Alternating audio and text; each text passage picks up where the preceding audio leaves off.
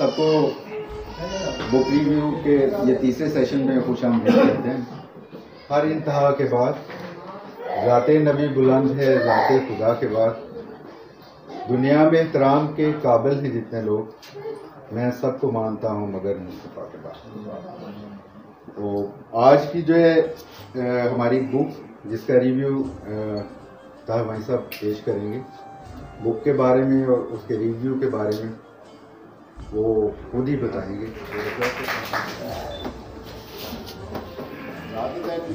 Telling about the book इसमें जिस तरीके से स्टोरी और इसके चैप्टर्स चले हैं uh, कुछ चीज़ें मैंने जो माइल स्टोन्स थी उनको नोट किया है और I would like to share with you उसके बाद आप में से मेरा ख्याल है दो तीन लोग कम अज़ कम ऐसे हैं जिन्होंने ऑलरेडी ये बुक पढ़ी हुई है। So anything missed out I would request कि वो इसको जो है ज़रूर आपसे शेयर करें।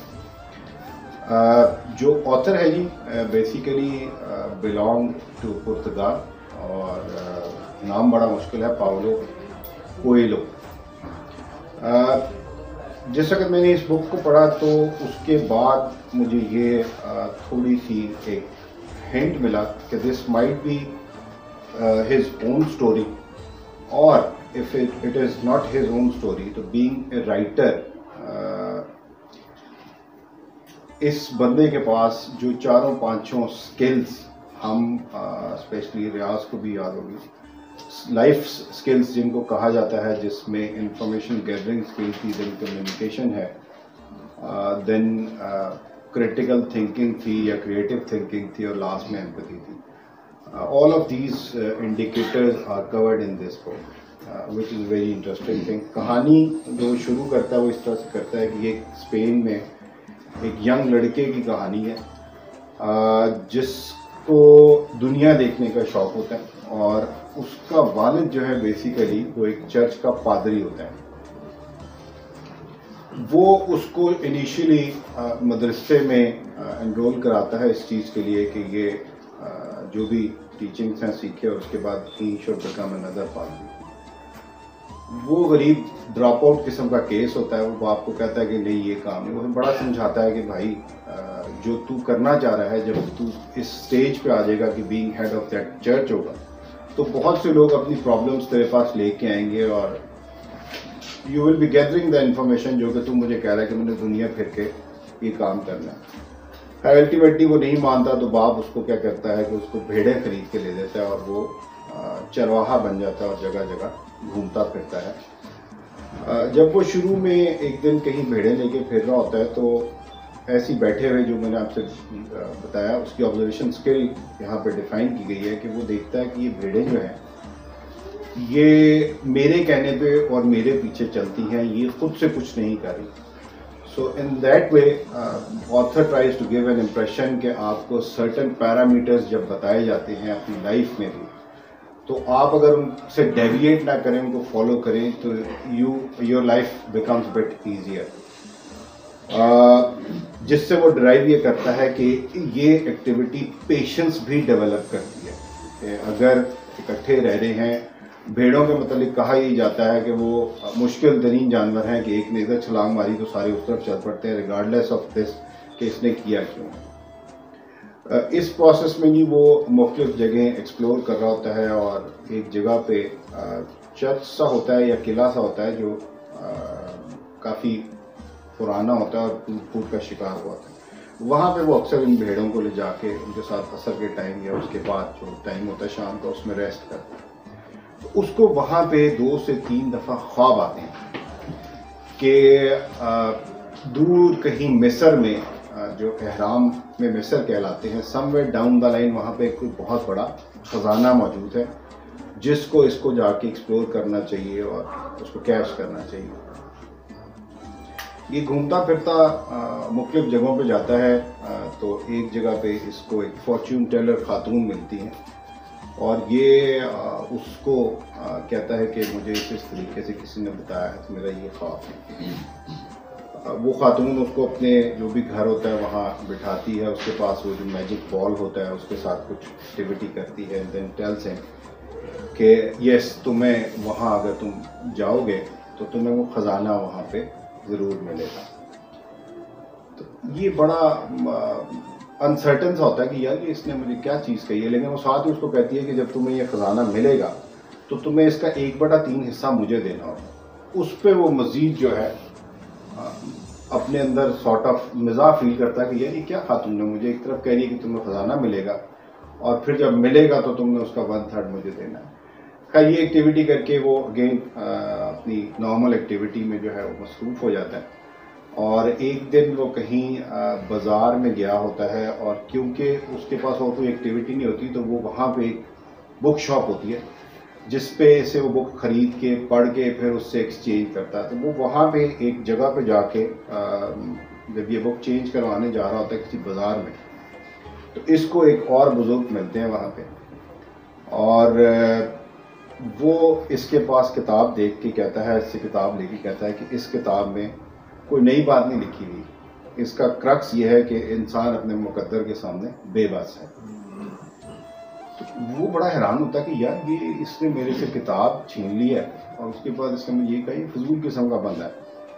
वो खैर उससे इन कन्वर्सेशन जाता है, कहता आप करते क्या हैं? तो वो जो बुज़ुर्ग होता है, वो कहता है जनाब मैं फलां जगह जो है, उसका बादशाह हूँ।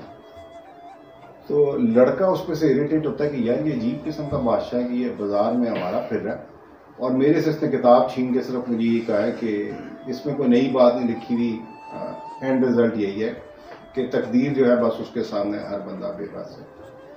खैर, वो उससे गपशप करता है, वो डिफरेंट चीज़ें उसे बताता है। ये लड़का जो है, ये मानता नहीं है। कहता यार ये मुझे डंग का वाला काम कर वो उसको कहता है कि अच्छा तुमने जो ख्वाब देखा है, ये फला फला जगह पर तुम्हें वाकई ही खजाना मिलेगा। वो चौंकता है, वो कहता है, यार, ये पता नहीं, इसको कैसे पता चल गया कि फॉर्च्यून टेलर ने जो है वो मुझे बताया था? इसको कहीं कोई शायद हिंट मिल गया होगा। लेकिन वो कहता है कि तुमने उसका मुझे दसवां हिस्सा देना है, आज ही। तब मैं तुम्हें बताऊँगा कि वो क्या है। और दसवां हिस्सा मुझे तुमने इन शेप ऑफ़ कैश या काइंड देना है कि ये जो तुम्हारे पास भेड़े हैं ना, इनका दसवां हिस्सा दोगे या इनको बेच के इनमें से तुमने मुझे ऑन स्पॉट देना फिर मैं बताऊँगा। लड़का शिशोपन में फंस जाता है कि क्या करूँ? इन द मीन वाइल ये जहाँ बैठे होते हैं, वो जो बुज़ुर्ग होते हैं, वो रेत पे कुछ उल्टी सीधी लकीरें बनाते हैं। और इस लड़के को, इसके बाप का नाम, इसकी माँ का नाम, और बीच में एक करेक्टर मैंने स्किप किया था, जिस लड़की से इसको जिस लड़की से इसको मोहब्बत होती है, वो उसका नाम भी बता देता है। ये एकदम चौंकता कि यार, ये इसने जो हरकत की है, इसका मतलब ये कि इसके पास कोई इल्म है। खैर, वो आपस में उनकी जो भी गपशप होती है, उसके बाद वो उसको नक्शल ये करता है कि उसको कहता है कि जनाब, ये ये चीज़ें सर्टेन लेवल पे करोगे तो इस इस तरीके से ये होगा। अब लड़का ये सोचता है कि भेड़ें जो हैं, वो मेरा कुल असासा है। और एक ऐसी अनदेखी चीज़ जो है, उसके पीछे अगर मैं सब कुछ इस वक्त लुटा दूँ तो वे डू आई स्टैंड तो उस पर से वो बंदा उसको जवाब देता है कि जब आप किसी मकसद को हासिल करने की कोशिश करने लगते हैं तो पूरी कायनात आपका उसका साथ देती है। लेकिन आपको कोई भी चीज़ जो है, ठीक है, वो फ्री लंच के तौर पे नहीं मिलती। इसको समझ नहीं आती कि मैं इस चक्कर में करूँ तो क्या करूँ। वो बूढ़े को कहता है कि नहीं, कोई और डील मेरे साथ करो। मुझे ये समझ नहीं आ रही। तो उस बुज़ुर्ग के चेहरे पर थोड़ी सी मायूसी आती है।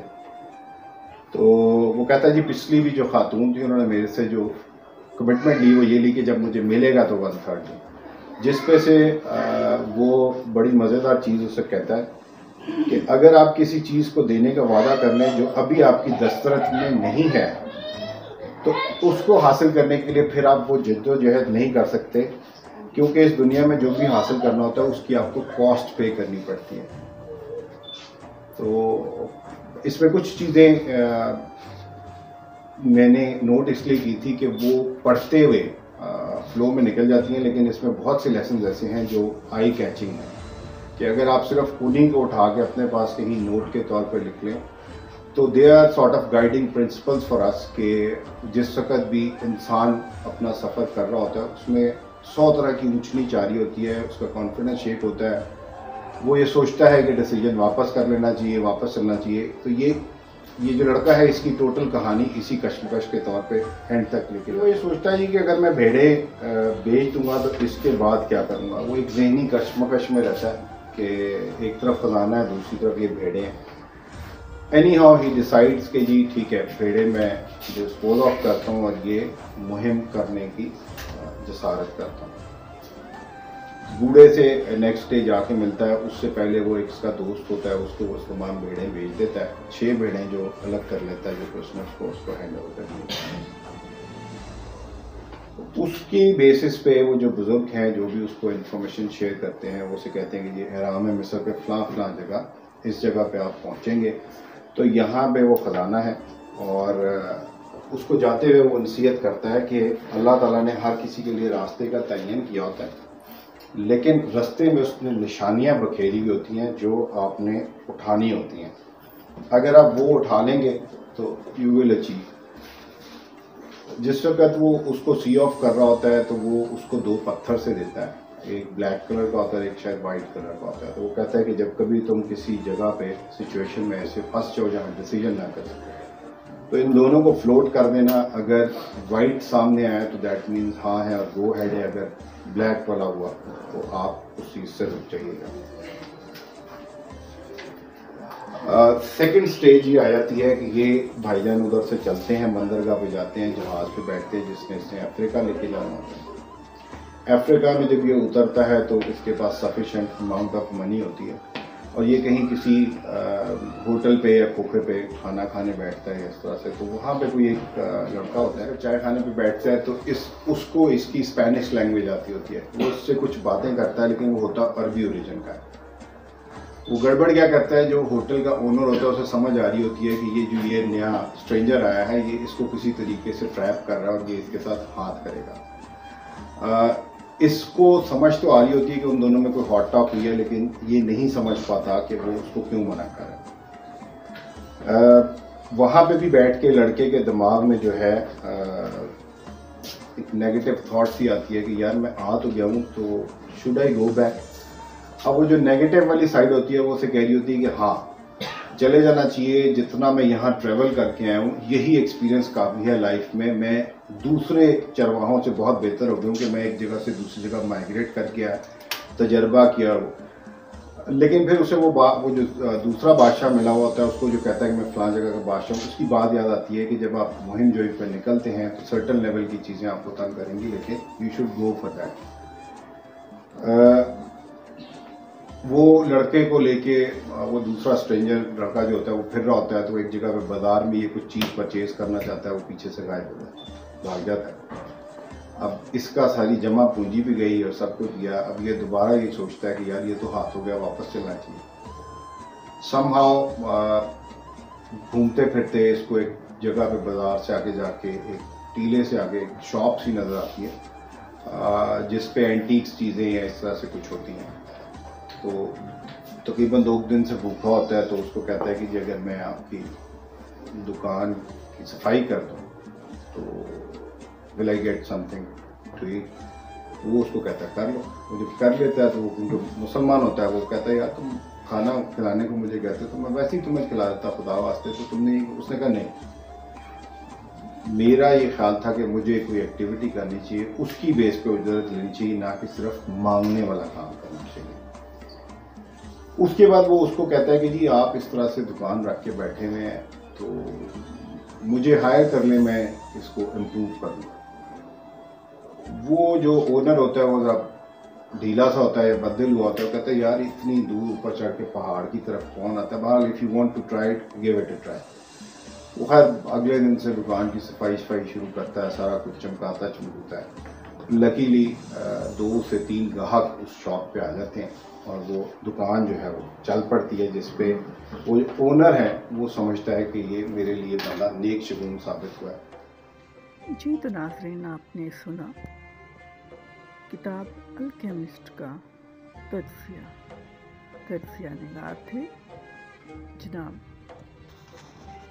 ताहिर हमीद वाइन